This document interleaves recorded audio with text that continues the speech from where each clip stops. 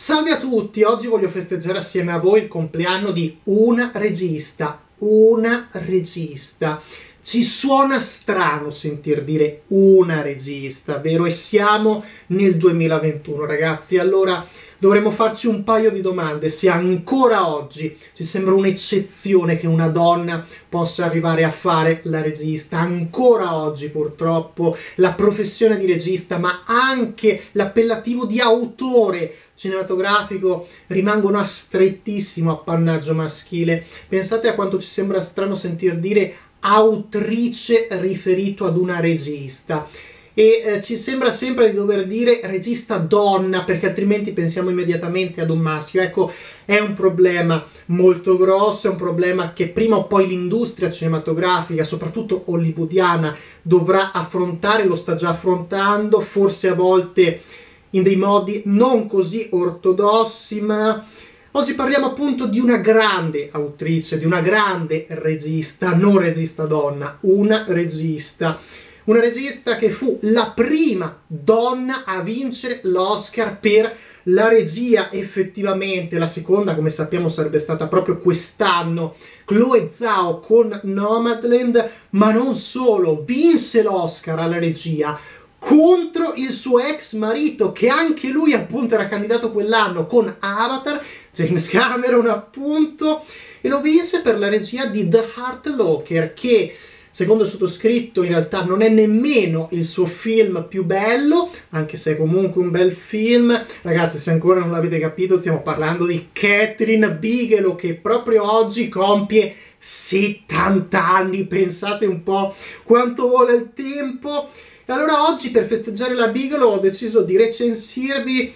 il suo film probabilmente più noto al grande pubblico, ovvero Point Break, punto di rottura, film del 1991 diretto appunto dalla Bigelow e scritto da W. Peter Iliff su un soggetto suo e di Rick King. Un film che fra l'altro proprio lo scorso luglio ha compiuto 30 anni, quindi anche un modo per festeggiare il film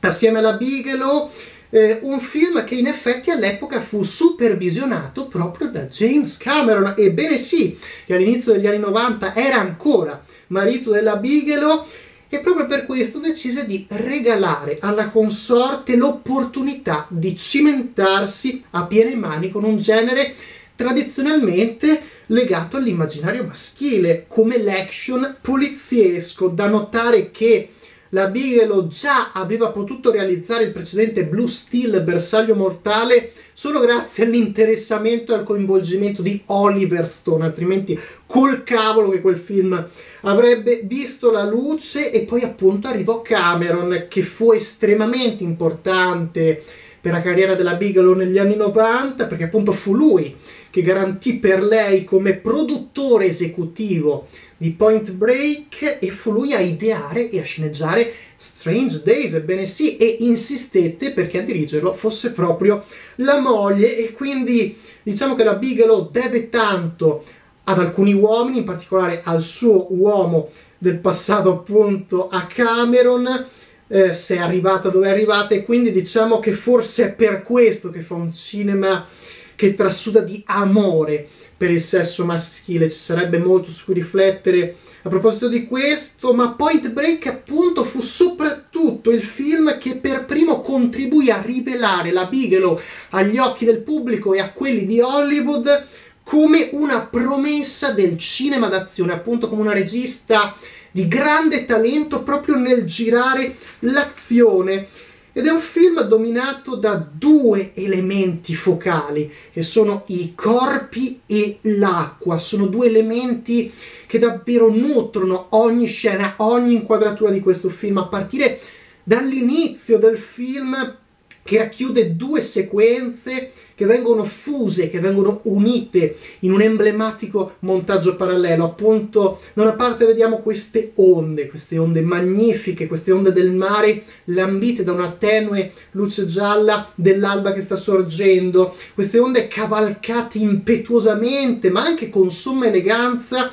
dai corpi di questi surfisti, appunto le onde e i corpi, questi corpi che sembrano fondersi a queste onde, che entrano in simbiosi con queste onde, ma non una simbiosi astratta, spirituale, una simbiosi fisica, appunto questi corpi e quest'acqua diventano un tutt'uno e anche noi entriamo nella magia di questa unione simbiotica proprio grazie al rallentatore, ragazzi. Oggi ormai chi è che sa utilizzare il rallenti in una maniera così poetica come fa Point Break? Vali a trovare oggi appunto dei rallenti come quelli delle scene di surf di Point Break davvero stupendi, ma intanto in parallelo vediamo anche un altro corpo, oltre a quello dei surfisti, che è quello di Keanu Reeves, appunto uno dei corpi più fondamentali, più iconici, più importanti di tutto il cinema degli anni 90, un corpo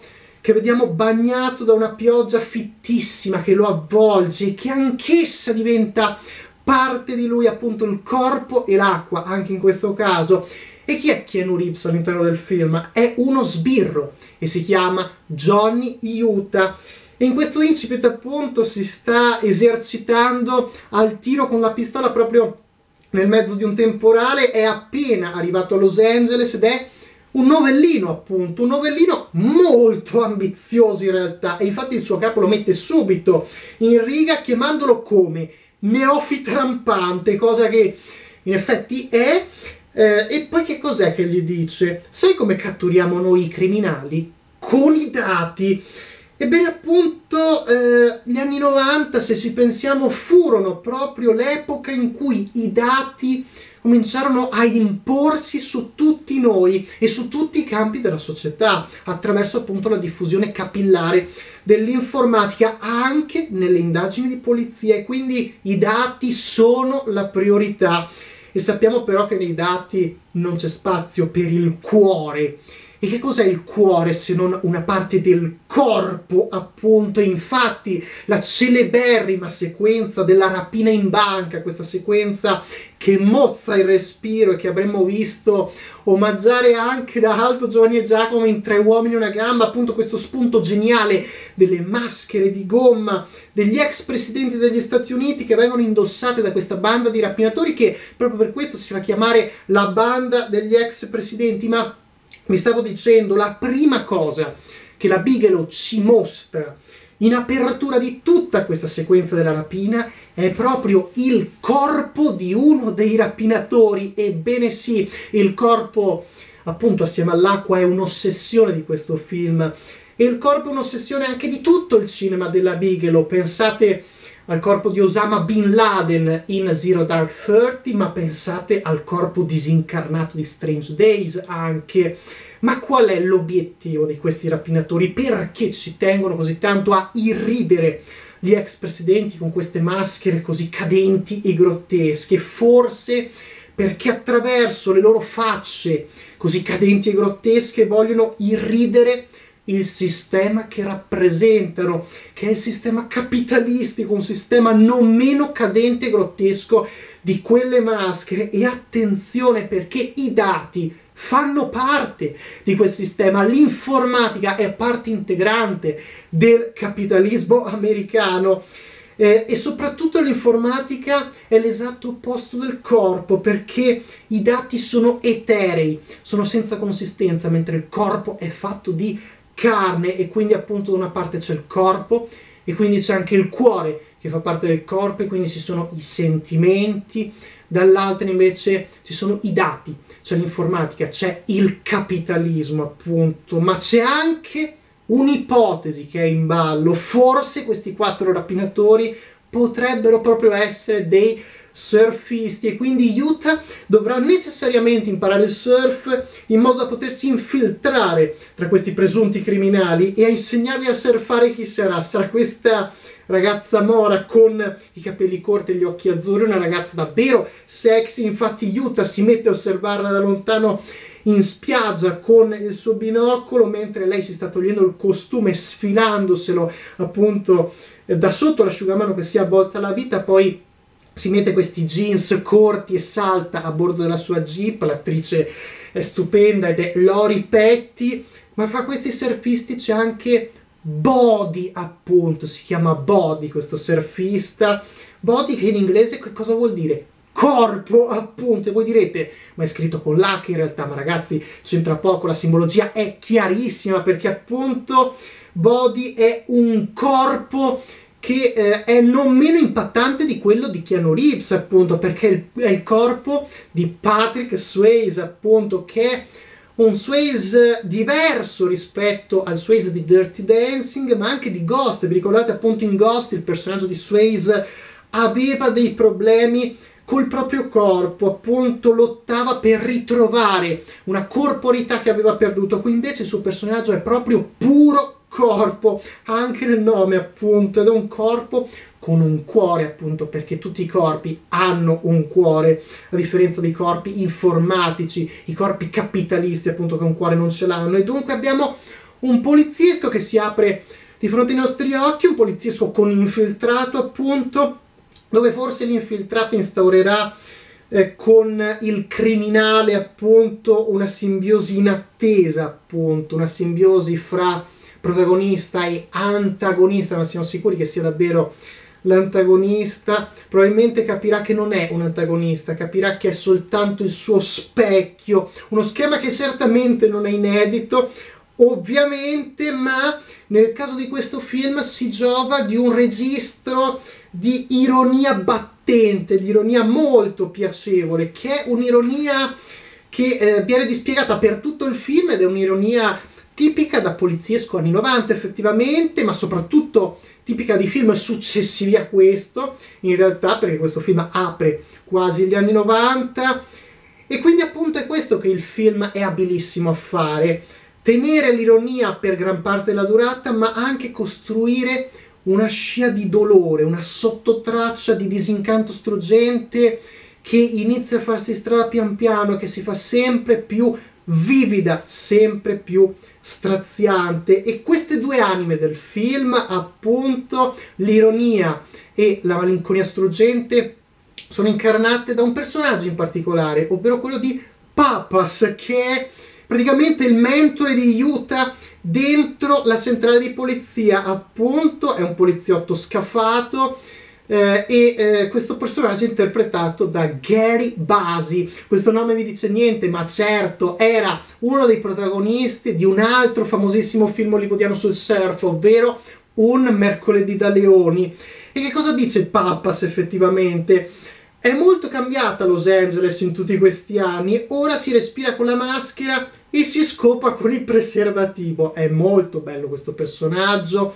ed è molto bello il rapporto che vediamo sviluppato appunto tra il personaggio di Pappas e quello di Yuta. Sono quasi un padre e un figlio, un padre che è un reduce del Vietnam altamente disilluso dalla vita e un figlio che è una figura che fa quasi il ribelle, appunto, è quasi un ragazzino, un adolescente che ha ancora tanto da imparare dalla vita. E guardate appunto questa scena di dialogo davanti a uno specchio rotto dove Pappas mette una mano sulla spalla, aiuta questo momento disteso appunto e toccante che arriva dopo una scena ad alta tensione, tutta questa sequenza di blitz nella casa dei presunti criminali, una sequenza anche questa strepitosa, una sequenza che parte con questo riflettore iettabile allungato da Rips per vedere appunto che cosa c'è all'interno della casa, poi il rumore del tagliaerba, il tagliaerba che tornerà anche dopo effettivamente,